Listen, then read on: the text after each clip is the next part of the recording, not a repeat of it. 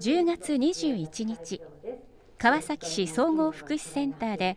子育てを支援する人のための研修会が開かれました。ボランティアなどで子育て支援の活動を行っている人やこれから活動を始めてみたいという人を対象に川崎市内で実際に支援活動をしている NPO 法人の代表から今後の活動で役に立つ子育ての知識を学ぼうという講座です。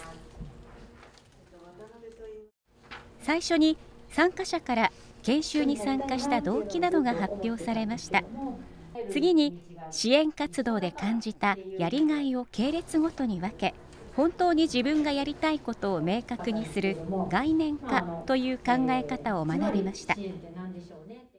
自分軸を持ってこうちっちゃいことからちょっとしたことから言葉かけ行動を日々なさっていっていただきたいなっていうふうに思っております。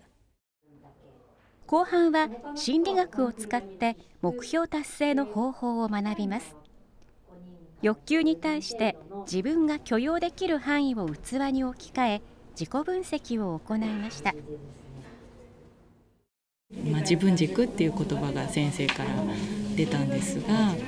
のそれについて非常に考える機会をいただいてこういうことが自分はしたかったのかなっていうことがちょっとあの見つかったというかあの改めてかあの思い出させたっていただけた回だったと思います。